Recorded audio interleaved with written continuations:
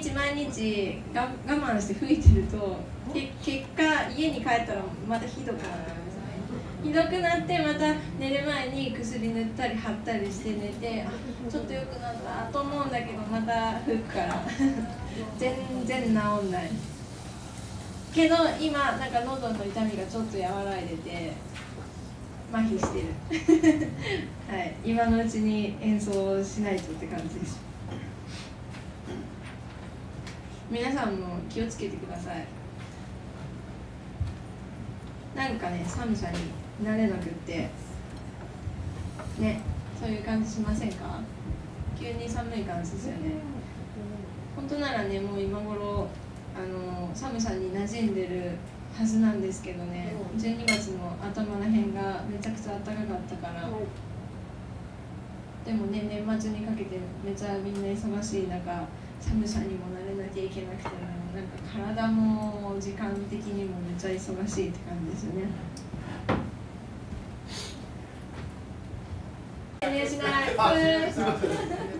えー、接してないけど、えー、日清の隣の隣豊明市のオールドカフェというところですね。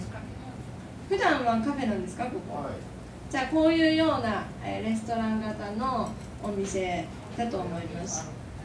なのでね目の前でその響き渡るビッグバンドの演奏を聴けるってなかなか普段はねコンサート会場とかのが多いからあの貴重な。あのねあのありがとうございます。えー、っとねもうあのいっぱいなんですほとんど。はい、ほとんど、うん、あのね、キャンセルいやいやいやえー、っとあのー、いやいやまあ多分大大丈夫と思うんですけどあのお客様実際のリアルなお客様は25名ずつっていう一部50個そしたら今ね25名でまあでもまあ30ぐらいいけるかなというところが今もう大体234名もうはいあのご予約いただいておりますので、えー、じゃあもう今日、ま今日すぐに予約する、まえー、っとねマスター夫妻が今日まで旅行に行ってますので明日明日か明後日以降電話してください。でえー、っとでも当日でもいいかもね、まあ、やっぱり年末ですからちょっと予定わからんぞと、うん、あああちょっとやすあの時間できたから行こうかなっていう場合はもう当日でもいいんじゃないかと。問い合わせをねぜひしてください。そうそうそうそうそう。100人来ちゃったそんなわけない、ありますよそういう。まあいやそれでだからなんだっけそうそうまあそれはちょっとそういうこと言うな それでえですのであのその YouTube であのあの、えー、ライブ配信しますのでそちらをご覧いただいても構いません。はい。有料じゃないです。無料です。はい。えチップ制ですか？いえいえいえあのうんちょっとわかんないけどまあお気楽あの気楽にご覧ください。そうチャンネル登録して、えー、ぜひ楽しんでください。生の音みたいにね。その体感することはできないですけどどんな音楽やってるかなとかはね聞けますからぜひ楽しんでください。では、えー、セカンドセット始めます。えっ、ー、とここでねあの今日とても久しぶりにあの来てくださったという、えー、お客様たちからあのこの曲大好きなんだけどリクエストできないだろうかというふうに言われてえどんな曲が出るのかなと思ったんですけどあの私もねすごい好きな、えー、曲だったのでぜひやってみようかなっていうことになりました よろしくお願いします、えー、リクエストいただいた曲はアートブレイキーザ・メッセンジャーズの、えー、名曲中の名曲「モーニング」という曲を、えー、お届けしたいと思います。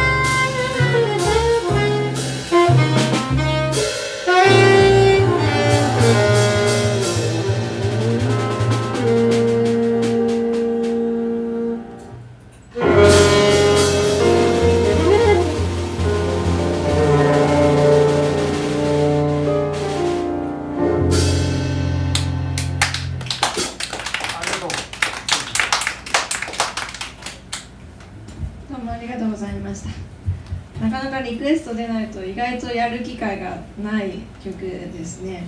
セッションでもやればいいんですけどなかなかセッションでリクエストが出なかったりして。はい。ありがとうございます、えー、モーニングをお届けしました。それではあの周平さんのオリジナル曲でクリスマスの曲がありますのでお届けしたいと思います。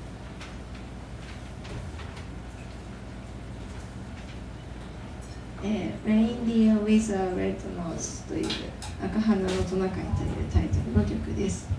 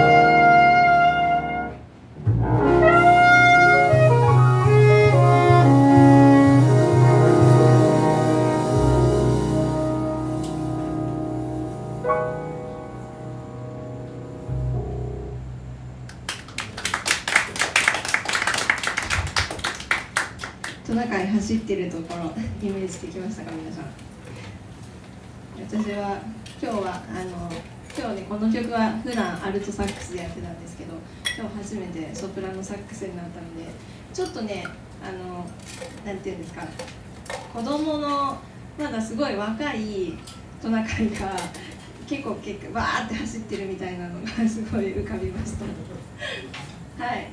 子供のなんか、ま、子供ってほど子供じゃないかもしれないけどねあの人間に例えたら高校生ぐらいの子がバイトでサンタのあのソリのバイトをしてるみたいな感じのイメージでした今。はい。普段はもうちょっとねあのガッてあのなんていうの？トナカイの角が強そうなやつをもうちょっとイメージしてたんですけど。はい。とかちょっと、えーおじさんぐらいのえー、とトナカイがちょっと寂しげなまず一人で歩いていくみたいなところとか想像してたんですけど今日はなんか違って面白かったです。はい。では、えーその次何にしようかな。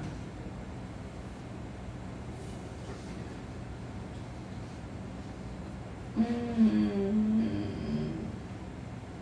うん。そう。そうなの えー、じゃあバラードをお届けしたいと思います。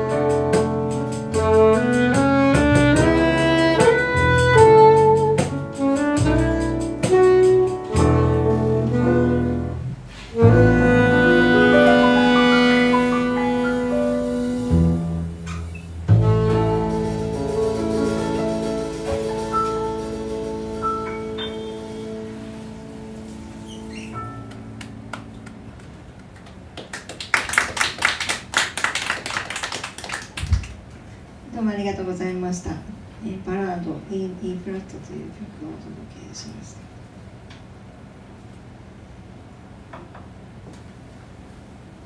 これはどうですか？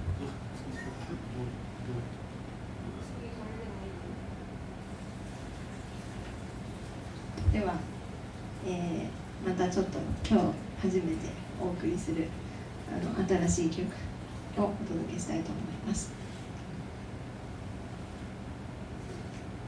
メロンドリームというタイトルの曲です。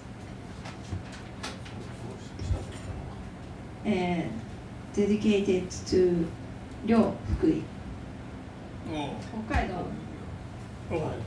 北海道のあ菊田さんが反応した。だって福井そ亮さん。その曲だと思ったからあれと思って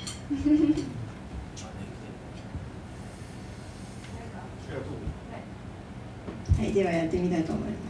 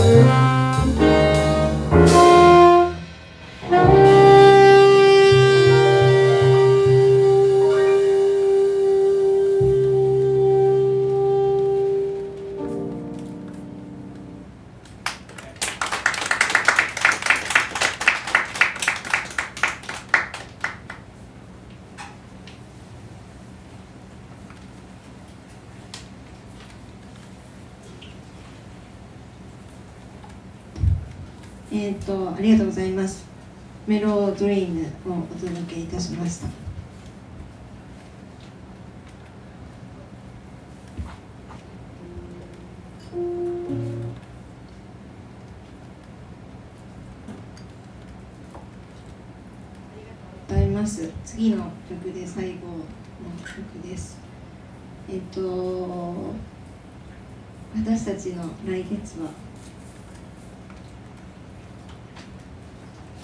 はい、えー、と1月のね28日金曜日です。金曜日に、えー、審査会の方にあるあのスイングさんというお店であの演奏をします。今日の、えーレパートリーもやるかもしれないですしまだ他に、えー、と多分20曲ぐらいあるのでその中からいろいろ選びたいと思います。スターイズさんでは、えーおそらく2月かなにまたやりたいと思っていますので、えーこちらのお店にで、えーこちらのお店に来られる時はま2月によろしくお願いします。あとはあそう12月の31日はあの毎年対馬のクレヨンというお店でカウントダウンライブセッションというあのパーティーのようなライブをライブとあとプレイヤーの方たちにも集まっていただいてみんなでのセッションの演奏もやってるんですが去年は全然去年一昨年もできなかったかな？あそう あそうそうだね。そうだね。そうだね。あそうか。まだ2回目のコロナになってから2回目の年末年始なのね今回。そう去年はそう全然できなくてやりたいねって言ってたんですけどできませんでした。今年はあの晴れてできるようになりましていつも通りカウントダウンは夜の9時からスタートします。ちょっとあの、ね、車で出かけていただくかえっ、とね最後までいると電車がなくなってしまうのであの余裕のある方は名古屋駅まで行くと地下鉄は動きますのでえ車で来ていただくか電車で来ていただいて帰りは100って名駅まで行くか、えー対馬のどこかで泊まるか何か。そうどうしようかなみたいな感じ。であと車の車でねあのアルコール飲まなくても元気いっぱいみたいな私みたいなタイプの人がいたらそういう人に乗せていってもらったりとかしてぜひ遊びに来てください。楽器やられる方はあの演奏を一緒にしていただけると嬉しいです。演奏者の友達を連れてきていただいてもいいです。ぜひよろしくお願いします。この3人と、えーまた別のドラマーさんと4人でやりますのでよろしくお願いします。あ、佃さんも遊びにいらっしゃいます今今今いやもうさっきからずっと言ってる、うん、もう来た時からなんかあの12月31日は対馬だからねとか言って周平さんがねあの言いました。帰帰ってるかもしそれをなんかキャンセルしてこいっていう話ですはい。とか言ってはい。周平さんその時あのピアニストが来ればハーハープも弾きますしね。結構あのミュージシャンのそのクレヨンにね出てて、えーそのクレヨンがそんなに遠くないよっていうミュージシャンの方も遊びに来たりしますのでいつもね盛り上がってすごいアットホームで楽しい年越しなんですよ。ぜひあのお願いいたします。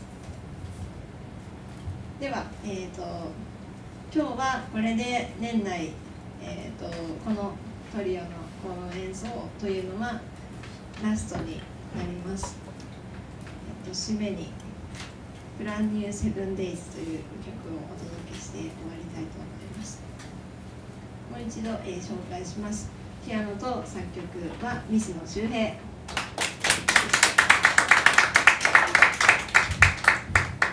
ス林かな？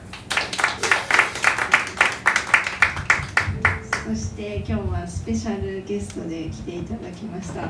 急な急にねもう10曲ぐらい難しい曲ばっかり、えー、と譜面を見させられたり譜面がないやつもあったりね大変でしたよね。すいませんでした。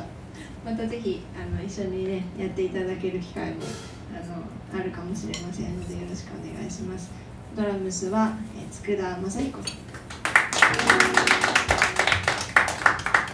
サックスは竹中優子でお届けいたしました。どうもありがとうございました。